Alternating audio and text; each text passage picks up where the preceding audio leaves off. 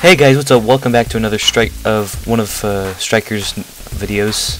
Uh, that was a crappy little intro there. Sorry about that. But um, this is just going to be a little bit of a mod spotlight again on Minecraft, and this this mod is going to be called the is for some reason called the useful dirt mod, which it's really not that useful.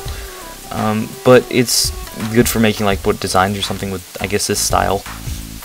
Okay, so let me go ahead and introduce you to the blocks. It, it, basically what it does is just gives you three new items in the game. For example, the uh, this block right here, I guess it's just one of those, um, I guess the first light block, I guess.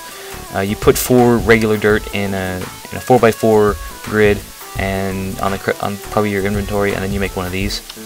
And what you can do with this, you can use a furnace, and you can, you know, smelt this to make this little uh, dirt ingot right here. And with those dirt ingots, you can just put them four into like a 4x4 square again, and you can make one of these tough little uh, dirt blocks here.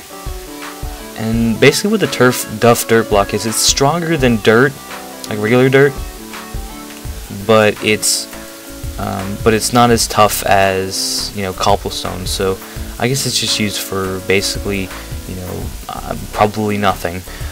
But uh, it is a little bit um, it's a little bit more, you know, explosion resistant than dirt regularly is, you know, but it's not as good as cobblestone or stone or anything.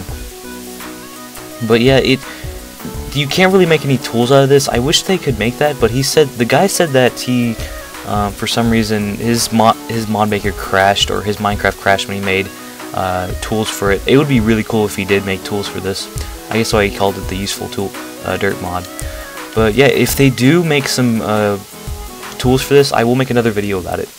So yeah, um, I hope you guys have enjoyed. Uh, thank you guys for watching. And sorry this was a little bit slow. Sorry I haven't really been making any videos lately.